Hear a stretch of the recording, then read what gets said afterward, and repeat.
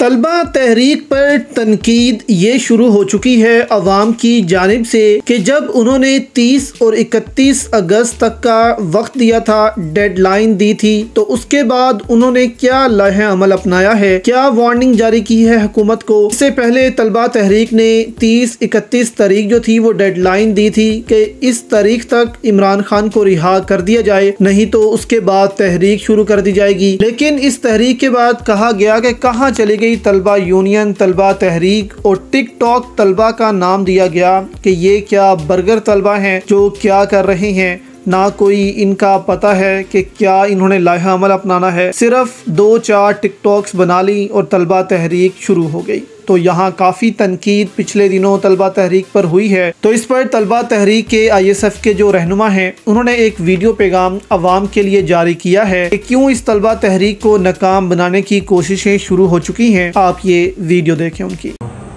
जी अलैक्म तलबा तहरीक के हवाले से एक क्लैरिफिकेशन जो बहुत ज़रूरी है, वो इस वीडियो के ज़रिए मैं आपको देना चाहता हूँ। हमने तलबा तहरीक का जो प्लान किया हुआ था, जो सोचा था, जो मशावरत की थी, वो जून से पहले की हुई थी।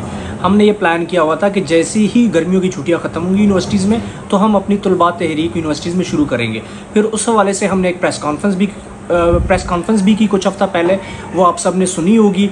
पूरा मीडिया गवाह है सारे सहाफ़ी जो वहाँ पे मौजूद थे वो सारे गवाह हैं कि हमने डेडलाइन कोई नहीं दी इकतीस या तीस अगस्त की। हमने ये कहा था कि सितंबर में जैसी यूनिवर्सिटीज़ ओपन होंगी तो हम अपनी तहरीक का आगाज़ करेंगे। लेकिन इस तहरीक को नाकाम बनाने के लिए आ, कुछ लोगों ने सोशल मीडिया पे जानबूझ के इकतीस अगस्त की डेट जिनको पता भी था कि इकतीस अगस्त को यूनिवर्सिटीज़ बंद होती है लेकिन जानबूझ के ये इकतीस अगस्त की डेट फैलाई गई ताकि लोग आगे जाके डीमोटिवेटेड हो इस तहरीक का हिस्सा ना बने।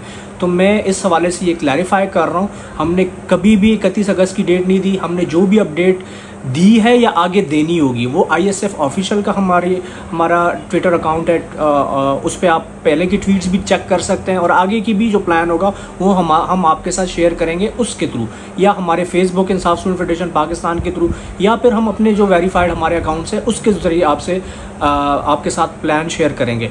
इस हवाले से ये क्लैरिफिकेशन बहुत ज़रूरी है, हमने कभी भी तीस या इकतीस अगस्त की डेट नहीं दी, क्योंकि यूनिवर्सिटीज़ में तलबा है ही नहीं तो हम तहरीक का आगाज़ कैसे कर सकते क्योंकि हमने तहरीक तो चलानी यूनिवर्सिटीज़ में और कॉलेज़ में। और कॉलेज और यूनिवर्सिटीज़ समर्स ख़त्म होते हैं यूनिवर्सिटीज़ में सेशन का आगाज़ होता है आफ्टर फ़र्स्ट वीक यानी सात, आठ से मुख्तलिफ़ यूनिवर्सिटियाँ खुलना शुरू हो जाएँगी। तो जैसे जैसे यूनिवर्सिटी खुलती आ जाए, खुलती जाएगी, हम उसी यूनिवर्सिटी में तहरीक का आगाज़ शुरू करेंगे। जैसी जैसी खुलेगी, तहरीक का आगाज़ भी उस यूनिवर्सिटी में वैसे ही होगा।